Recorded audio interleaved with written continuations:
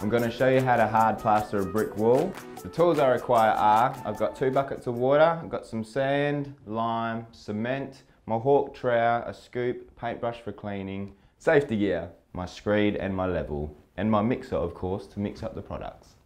Prepared my wall by giving it a brush down so that there's no excess dust stuck to the bricks. Also giving it a little bit of a wet so that there's some moisture in the air, especially on hot days. It improves the adhesion between the products. Got my drop sheet down, so let's get started. I'm about to add some water to my mix.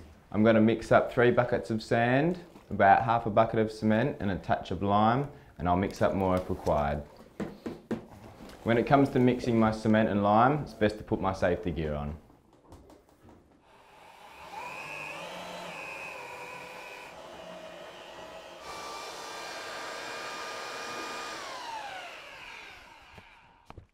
When I pick up the mud, I usually go with the corner in first and then you can scoop it up quite nicely so it comes up just like this. Resting the trowel on the hawk, I can tilt my hawk back and scoop up a load, just like this. Now I apply my mud to the wall, starting from top to bottom and right to left.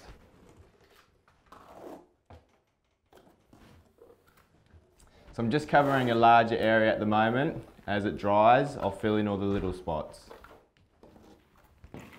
When applying my mud to the wall, I'll use a brick join as a guideline and I'll go upwards about two to three bricks. And then I usually veer off to the right. Once applied my mud to the wall, I've now let it dry to an appropriate feel. It is now touch dry. Using my straight edge, I'll now make my wall nice and flat and plumb that way we'll be taking off any of the excess and get it back to a nice flat finish. This process can also be known as screeding. I'll start by shaving a bit of the excess off either side and get my level, check that it's plumb, and then I'll go the opposite way to match that level. So now using my trusty level, I'll check how plumb my wall is. So my level is telling me that my wall is not as plumb as I would like it to be, it's saying that I need to take a bit more off the top, so I'm going to put a line, and that will let me know how much more I need to take off. And I'll do the same on this side as well. There we go. Now I can roll back to that line, and then I'll check it again afterwards.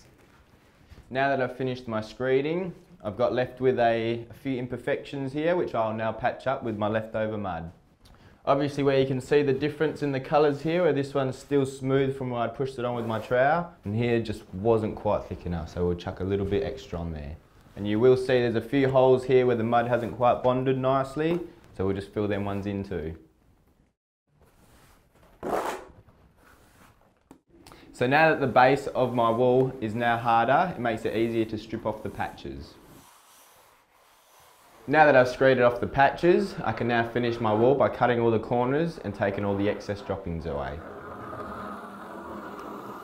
Now that's how you hard plaster a brick wall.